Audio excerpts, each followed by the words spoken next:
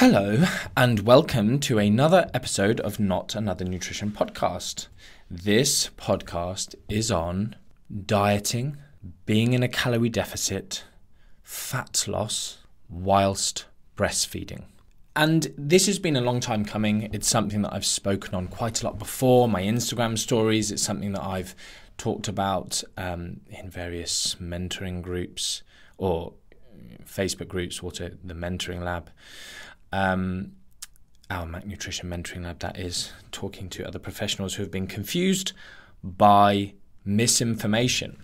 And the misinformation is quite prevalent, and it's something that irks me quite a lot because I see lots of, I mean, it's just a non evidence based realm. And uh, I suppose a little bit of a chip on my own shoulder is that females in this realm being a little bit um, aggressive, as though being a female somehow makes them more of an authority, or having breastfed makes them more of an authority, which is not true. It's a bit like if any of you are aware of Tim Noakes, the low carb zealot, he believes he's more of an expert than anyone else, including you know some of the world's leading experts and researchers simply because he had diabetes so therefore he's a lead, therefore he's an expert on diabetes obviously it gives you some insight great the problem is it only gives you the thing that makes us as humans a bit stupid i.e., personal experience,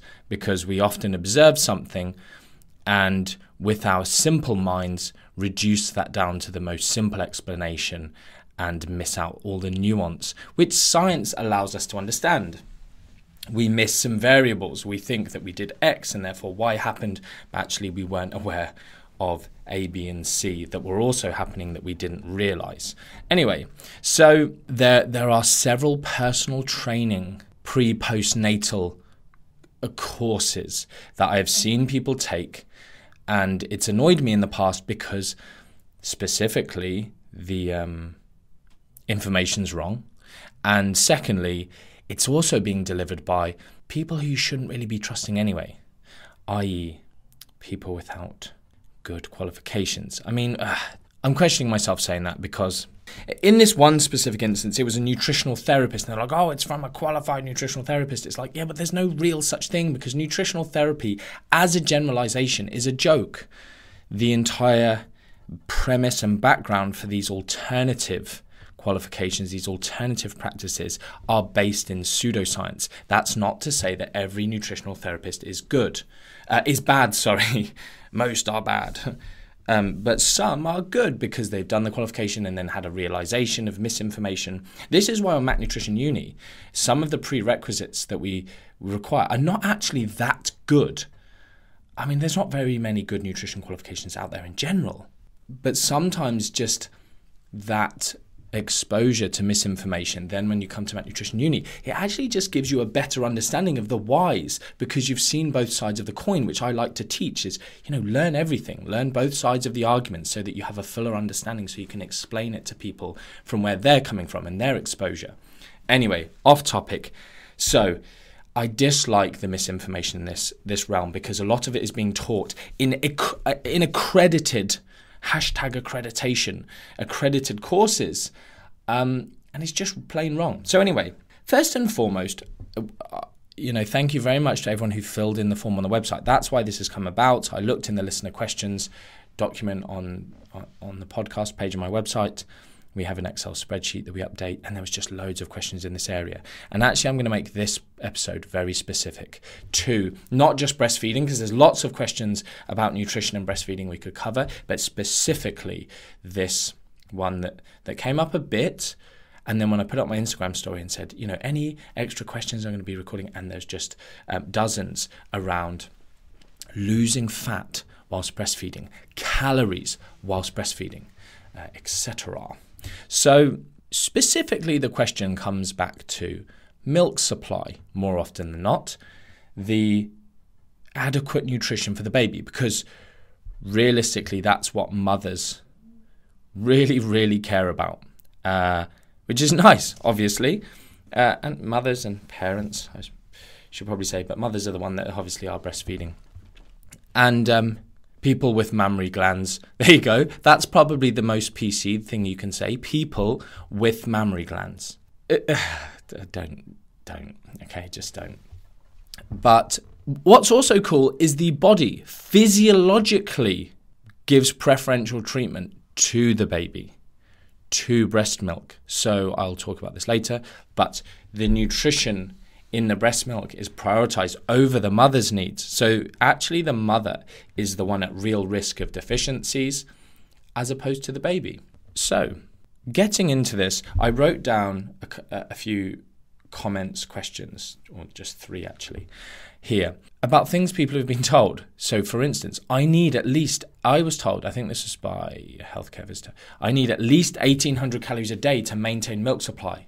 But like today, I've only managed 1200 calories. Can't remember where that was from.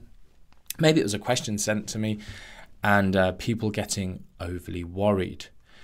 Another one, I've been told to eat 300 to 500 extra calories a day whilst breastfeeding. Uh, this was actually one that was said to us at a breastfeeding class. And it's not that bad. And it was said with good intentions. But it just annoyed me because have a basket by your sofa with biscuits to snack on, as it can be difficult to get up when you're holding a sleeping baby. It just was like, eh, I get where you're coming from. And there's nothing wrong with biscuits, but just don't talk about nutrition. Just say snacks, uh, whatever. Anyway, it just it was the way it was delivered. Uh, maybe it was because I was about to become a new parent. I didn't like it. Here's the deal: lactation there is an increase in energy expenditure as a result of breastfeeding. Now, lots of people have asked me to quantify that, and I can't because it depends on whether you're breastfeeding one baby or more than one. It depends on how big that baby is, how fast that baby grows, you as a person, your genetics. And you the other thing as well is you don't really need to know exactly how many because lots of different things will change. Hold on one minute. I'm just, I have a light here for those of you who watch on YouTube and it was banging, sorry. Uh, and it was putting me off. Uh, so it depends on your person. You don't really need to know, but there is an elevation. Now, we can throw out figures 200, 300, 400, 500 calories, they may or may not end up being in the right realm for you. We can throw out percentages, which sometimes are a little bit better because they're relative to. So uh, you'll see papers quoting 25% extra, which, and that's kind of uh, of basal needs. So if someone's basal is um, 1600 calories, then we increase that by 25%. So it's a quarter extra. Easy maths, 400 extra in that instance. Now, you can see how, uh, again, based on what I've said, the amount of milk being produced will determine that. So 25% is still, it's just a number that's kind of used as a catch all, but it could be less than that. It could be slightly more than that. So the misinformation, let me just clarify, that I dislike are two things. One, breastfeeding mothers shouldn't be in a calorie deficit. Ah, there's a few different ways that this is put. This is a myth. This is inc- incorrect. Breastfeeding mothers shouldn't be in a calorie deficit. Morons. Anyone who said that, moron. Two, and just so you know, I'm 100% correct. If what I've just said has triggered you, go away. This is the safest thing. Go away and find out why you're wrong. Don't try and prove me wrong. It's a much quicker process to just go, oh, Martin said this. I must be wrong. I'll go find out why. Now people are even more triggered that I've had the audacity to say that. Uh, anyway, secondly, oh, what else do people say? Oh, yes. Breastfeeding mothers should eat 300, you know, this comment here 300 to 500 extra calories. Again, not a correct absolute generalizable statement. Just not correct. You do not need to do that. You do not need to supply exogenous outside of the body through food and drink, etc., calories to help your body produce milk. It's not a thing. Likewise, the amount you eat and this is a generalized statement, and, and I will clarify later in the, you know as I carry on. But the amount you eat doesn't really change the amount of milk that you produce. It's as simple as that. You can be in a famine and your body still prioritizes your offspring. Humans are bodies are clever like that. You know, if you want to put a label on it, hashtag evolution. so these myths are disempowering, they're incorrect, they worry people, and they make people put emphasis and effort where it shouldn't go, which is an issue. If a new parent or parents are focusing on getting calories in for because their milk the, the milk supply is an issue, they're maybe not focusing on things that might actually help. And they maybe are stressing over this. And there there is actually some interesting area. I'm not going to uh, research. I'm not going to talk about it, but around stress and mood states and these kind of things, anxiety in uh, new mothers and milk supply. So yeah, you know, if anything, let's not overstress people about things that don't actually help them. Uh, not that we ever want to cause undue stress, but giving someone a small level of attention to an area can sometimes be good, obviously. Uh, so I'm just going to read you this. In most populations, no significant relationship between maternal weight loss and lactation outcomes has been found. So these, you know, pre-postnatal courses who are teaching people no calorie deficit, you, you know, let me let me break this down for, for the most simpleton that disagrees with me hundreds of thousands, in fact, probably millions, almost certainly millions of women have been in a calorie deficit whilst breastfeeding and have been able to grow a healthy child. We know this because during the 3, 6, 12, 24, 36 months and beyond of breastfeeding, okay, real honesty. I was breastfed until I was almost five. I know. I know. I I know. Let's move on. WTF. Anyway, lol. um it's crazy, isn't it? I can't believe it. I can I can still remember breastfeeding. Anyway, where were we? Then my little sister came along. Five years later,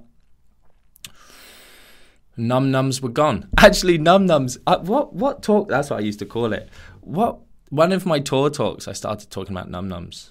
It's just funny, isn't it? Anyway, let's carry on. Millions of mothers have been in a calorie deficit whilst breastfeeding. The problem is, is when you start talking about calorie counting and some of the external stuff to this, external societal pressures, there is a conversation to be had there. Fantastic. But people are so dumb that they can't separate the two. I.e., you know, people just go, no, you should just eat healthy. Right. Well, if someone just eats healthy and loses body fat, they're in a calorie deficit. So there's a difference in question of counting versus, you know, really going quantitative with it versus the physiological or physics, the process of the mathematical situation of there is more energy coming out of the body than going into it. So, a little bit of a rant there, sorry. But my point being is the question and the stress of a woman going, I would like to, I feel ready to, I want to, try and lose some body fat whilst breastfeeding. And uh, you know, the what's quite funny is you see this uh, contradictory information in in uh, you know when you go for your checkups and stuff. It's like okay, when you're going when you start breastfeeding, you know you'll need to eat 300 to 500 extra calories, and then on the next line it's like uh, uh, essentially trying to encourage breastfeeding. It's like breastfeeding is an excellent way to lose weight. It's like, well, people aren't going to lose weight if you tell them to eat an extra 500 calories to replace it. Uh, so anyway, it's an interesting area of research. It's it's fraught with um, people who who aren't great lateral thinkers and don't have insights into um, the different areas of you know just the just the consideration around pressuring people in certain things, the guilt that it might cause for people who can't breastfeed um, for certain reasons, and uh, but yeah, so if we stick to science and numbers, we know people can have a calorie deficit. We know this statement in most populations, no significant relationship between maternal weight loss and lactation outcomes has been found. And the misinformation comes from two realms. Interestingly, my um, brother in law did his PhD with the Medical Research Council in Gambia, and uh, his supervisor, I actually did a bit of proofing for one of their books on chronic obstructive pulmonary disease and nutrition. And uh, but lots of what they did was in populations where maybe famine is an issue, where energy supply is an issue, where micronutrients are an issue. So looking at micronutrient supplementation and growth and, and in babies and, and uh, the micronutrient status of mothers and, and the growth of the child, all of these kind of things. Very interesting. The problem is is loads and loads and loads of the research is from this that situation versus the um, affluent country mothers who have no issue with, for instance, body fat levels. So there might be a threshold. There is a uh, proposed mechanism. There is a hypothesis, a hypothetical interaction between mother's body fat levels and calorie deficit and milk supply. So if you are very lean and you have a low energy intake whilst breastfeeding, your milk production may go down. That isn't the case for the majority of breastfeeding mothers in affluent countries. So there is misinformation that comes from there because you look at those studies and it's like, oh, okay, I'm starting to hear that maybe increasing energy does help with milk supply and it's not comparable. Secondly, uh, animal studies like suckling rats. The difference in this instance is, as I mentioned earlier, like 20, like 15 to 25% increase in energy needs uh, or, energy expenditure. This is one of the other confusions. So I catch myself when I say needs because I know what people hear. I hear needs from a uh, academic point of view, as in the needs of the body, and I understand that you don't. You can supply those needs of energy with endogenous stores, stores of fat, energy within your body, or carbohydrate or protein. You know, it's all energy, but you can take it from from your stores you don't have to supply it through food and drink. So it's this expenditure that we will then uh, either use. So one one of the things is prolactin, which is an oxytocin, are two hormones that are released, and I,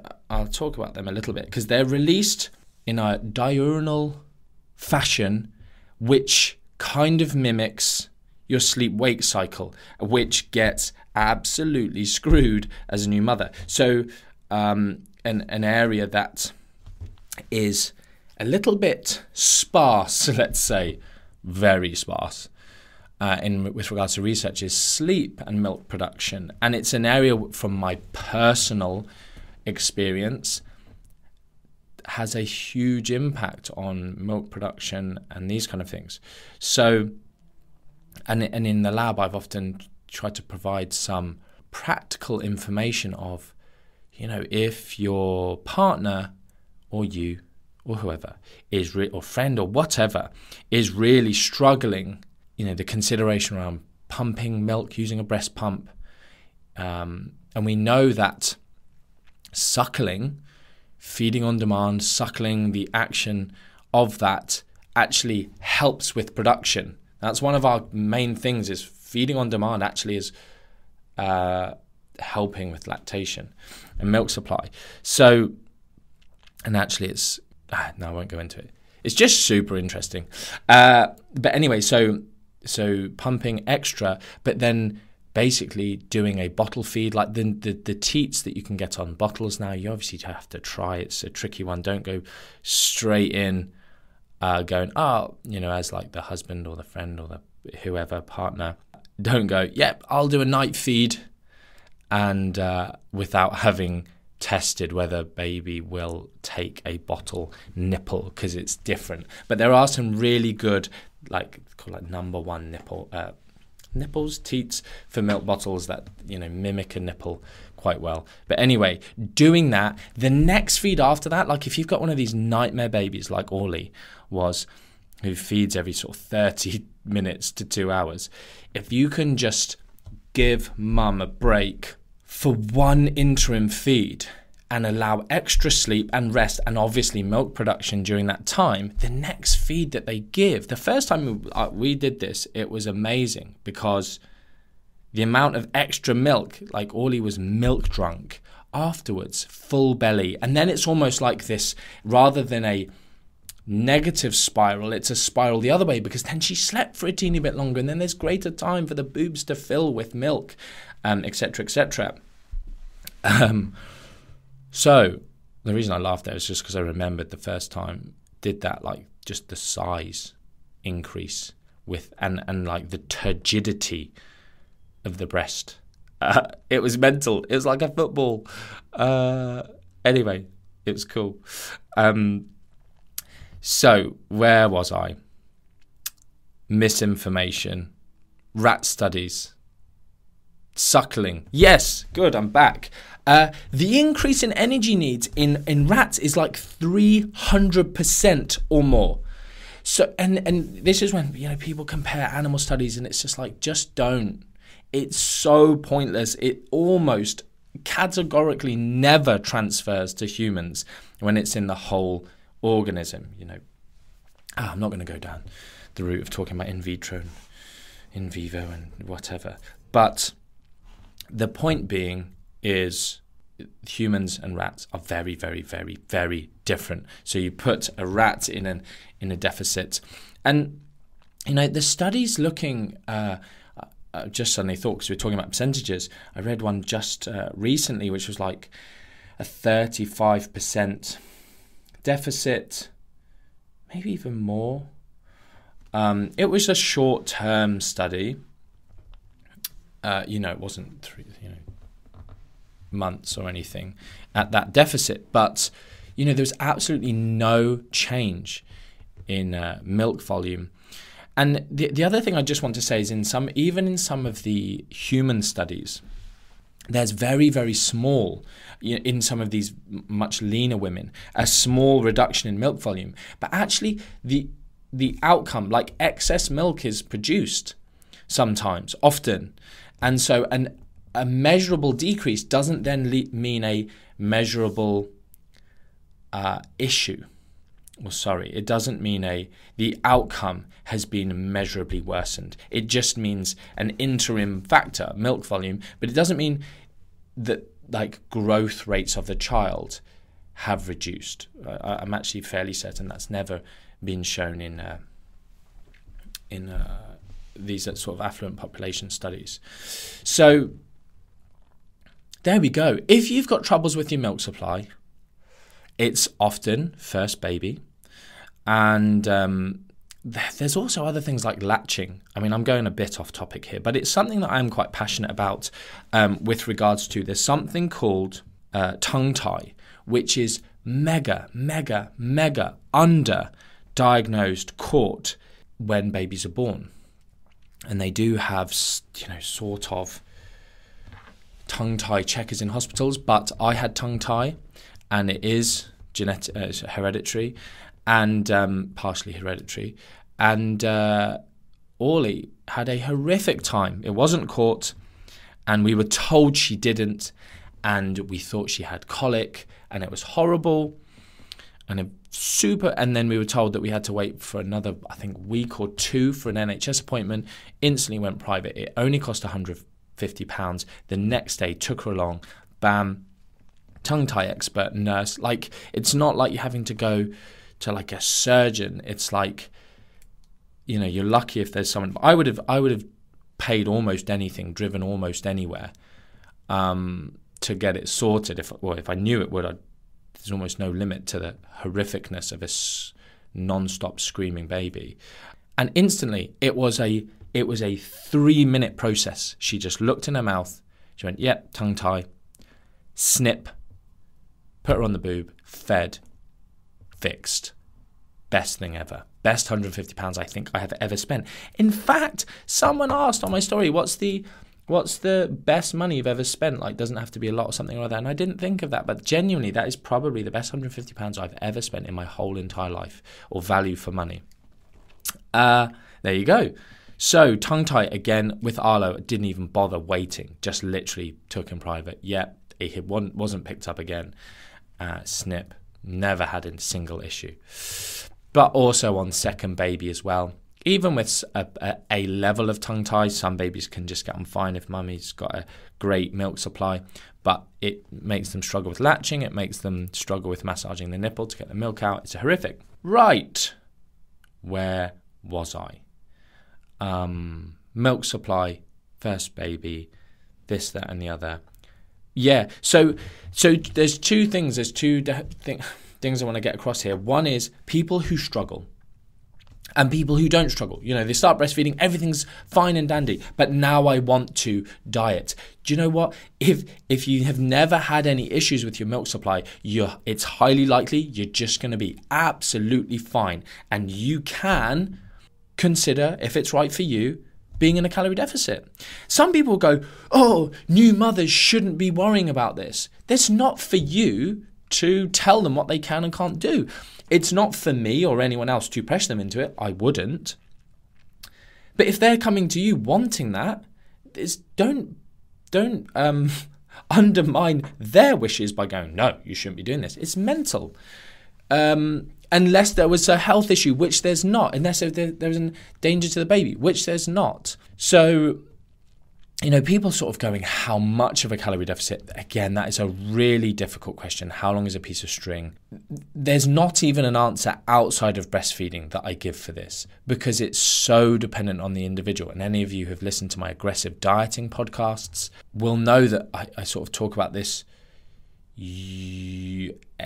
Inverted U shaped hunger curve where you know you get into more of a deficit and hunger starts to come down uh, rather than it being linear and going up the greater the deficit the more the hunger so long story short I sort of feel like i've given you enough information you can diet.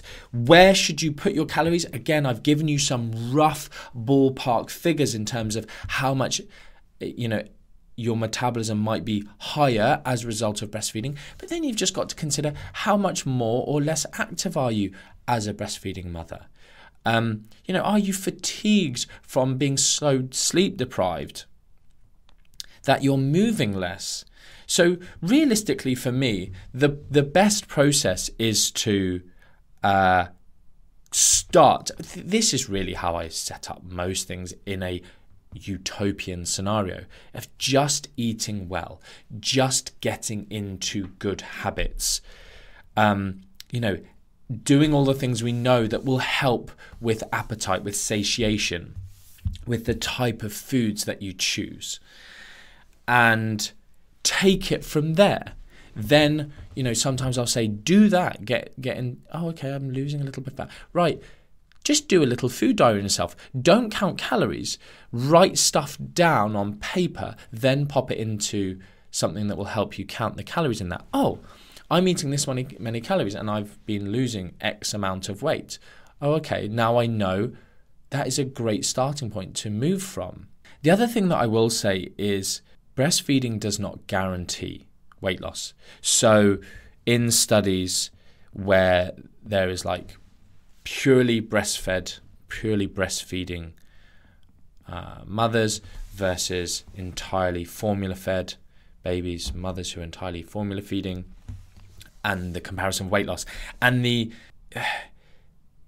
the data is equivocal. You know, people are like breastfeeding is amazing for weight loss. And it's not as clear cut as that, actually. There's maybe a tendency towards it, but it's not dramatic simply because in studies, even studies that show, okay, breastfeeding mothers seem to have, it's, they often use a term less pregnancy related weight retention, I think is what they say. Um, retaining more of the weight that you gained from pregnancy. Uh, postpartum weight retention, maybe, is, is a phrase that's used. Either way, you will still see in those studies, even when it slightly favor, favors breastfeeding, the breastfeeding mothers are eating significantly more calories because they're not on a calorie controlled diet in, in most of these studies. It's just looking at what's called like ad libitum eating, just eating as you will. Now, even without breastfeeding in the in the mix, just by eating better, often we can, you know, the the Hall study where it's like zero processed foods, and they're in a 600 calorie deficit without counting a single calorie. You know, we see that in all different kinds of, of studies uh, and different methods of calorie calorie reduction without counting calories. Non tracking methods, as we call them in Nutrition Uni. So we have this instance. Lucy's going to have to cut out that um, big pause there. What time am I on? Don't know. So we know that it's not a, a guarantee. So there does need to be some level of brain power, some effort, some specificity in our eating to guarantee weight loss. Doesn't mean you have to count, um, but you can. It's not an issue it's just bearing in mind is it adding a load of stress like you have to be honest with yourselves i'm just being providing you with information so you can make informed decisions instead of people misleading you and telling you rubbish based on the fact that they don't know anything or they haven't got a good ability to empathize with your situation and just giving their their opinion on what they experience or what they think you should do. Um, so that's really it the, the long and short of it is yes, you can be in a calorie deficit. No, it will highly likely not affect your, affect your milk supply. But if you are dieting hard and you find your milk supply is going down, uh, it's pretty simple. You know, I say I've said this in many other realms. It's just like keep using your brain, but don't be afraid to try it, and your body will preferentially give your baby the nutrition. So, in terms of how you eat, do bear that in mind in terms of eating nutritious foods, continue continuing with um, appropriate supplementation, these kind of things. Uh, okay, so where so just finally, I want to talk about a couple of other things. So hydration and sleep are really two areas. Well, one thing I just want to say is. I mentioned like prolactin earlier. Like this is one of those things that's released as a result of uh, lactation or leads to lactation as part of the breastfeeding cycle. And that hormone specifically mobilizes fatty acids from fat stores. So it, it's just another physiological way to just like the body's doing that on purpose. The idea that we have to provide these exogenous outside of the body from food and drink calories through biscuits or whatever to make sure our body um, produces milk it's just silliness. Like the body's clever. We've we, you can observe it over millions of women that it's happened. It's just the fact if you give it this title or you count the calories, suddenly someone takes issue with it. Right, I'm not talking about anymore. I hope I've answered enough of your questions. I hope I've allayed any fears. I hope I've given you enough to go away with and start doing things. Sleep, I've kind of mentioned. There is a it. Uh, the research is so sparse. I'll link you to one study that did show that sleep disturbance, less sleep, was um, did impact. Um, but it's just one of those things. Talking about it. Um, I don't know how much I can help you. I don't know how helpful that information is because sleep, sleep gets screwed. It's just, uh, it's more like if you're a partner, anything you can do to help them get good sleep if milk production is an issue, uh, especially in the first one to two weeks, anything you can do is really helpful. Hydration, finally, is a big one. The lots and lots of new mothers will get this massive, just thirst reflex literally at the onset of breastfeeding, which is great because it tells them to drink and they maintain their hydration. Now, for lots of individuals who, again, people who do not struggle with milk supply, hydration, because you have such great water stores in your body, it doesn't really impact milk volume, milk supply to any great extent at, until you it's a chronic issue. So don't the, the idea of like people over drinking to somehow make more milk it doesn't work. Like you just need to get to adequate which is the same as everything else. Like pay attention to urine color for instance. Pale urine um, and you're winning.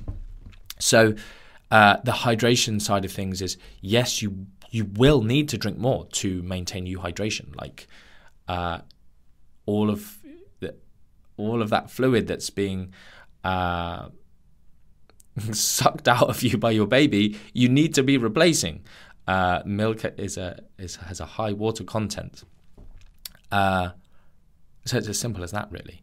That how much more? Again, it's just it's just such a generalized thing. I don't like to like the Institute of Medicine will publish figures on averages.